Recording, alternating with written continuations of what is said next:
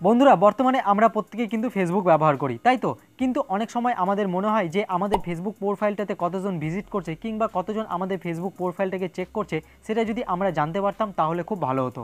তো বন্ধুরা, অবশেষে আপনাদের এই ইচ্ছেটা পূরণ করল ফেসবুক এখন থেকে আপনারা জেনে নিতে পারবেন আপনাদের ফেসবুক প্রোফাইলটিকে কতজন ভিজিট করছে কিংবা কতজন আপনাদের ফেসবুক প্রোফাইলটাকে চেক করছে।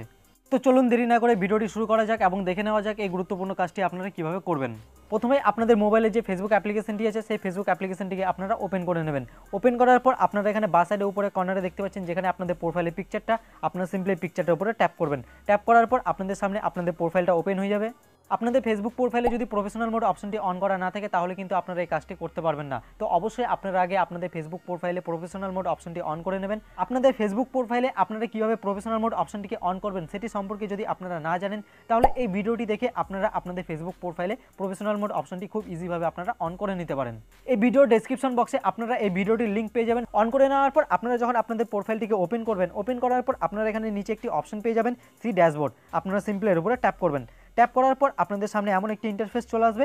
আপনারা পেজটাকে স্ক্রল করে একদম নিচে চলে আসবেন। নিচে আসার পর আপনারা নিচে একটি অপশন পেয়ে যাবেন প্রফেশনাল মোড গাইড আপনারা সিম্পল এর উপরে ট্যাপ করে দেবেন। ট্যাপ করে দেওয়ার পর আপনাদের সামনে এমন একটি ইন্টারফেস চলে আসবে। আপনারা পেজটাকে স্ক্রল করে একটু উপরে ওঠাবেন। উপরে ওঠানোর পর আপনারা এখানে একটি অপশন দেখতে পাবেন ইনসাইটস আপনারা সিম্পল এর উপরে ট্যাপ করবেন। ট্যাপ করার পর আপনাদের সামনে এমন একটি ইন্টারফেস চলে আসবে। এখানে আপনারা নিচে দেখতে পাচ্ছেন ভিউ ইনসাইট আপনারা সিম্পল এর উপরে ট্যাপ করবেন।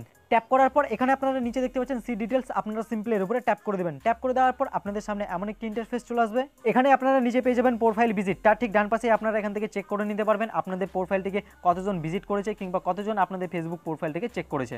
তার উপরে আপনারা এখানে দেখতে পাচ্ছেন লাস্ট আঠাশ দিন। এটা কিন্তু আপনাদের লাস্ট আঠাশ দিনের ডেটা আপনারা যদি লাস্ট আঠাশ দিনের উপরে ক্লিক করেন ক্লিক করার পর আপনারা এখানে পেয়ে যাবেন লাস্ট সেভেন ডেজ তারপরে আপনারা যদি সেভেন ডেজের উপরে ক্লিক করেন, তাহলে আপনারা এখানে লাস্ট সাত দিনের যে ডাটাটা আছে, সেটা আপনারা এখান থেকে চেক করে নিতে পারবেন। লাস্ট সাত দিনের মধ্যে আপনাদের প্রোফাইলটিকে কতজন ভিজিট করেছে কিংবা কতজন চেক করেছে। আর অবশ্যই আপনাদের ফেসবুক প্রোফাইলে প্রফেশনাল মোড অপশনটি অন থাকতে হবে, তবে কিন্তু আপনারা এখান থেকে এসে চেক করতে পারবেন আপনাদের ফেসবুক প্রোফাইলটিকে কতজন ভিজিট করেছে কিংবা কতজন চেক করেছে। ভিডিওটি যদি আপনাদের কাছে একটু উপকারী মনে হয়, তাহলে অবশ্যই একটি লাইক করে দেবেন। আজকের ভিডিওতে এইটুকুই।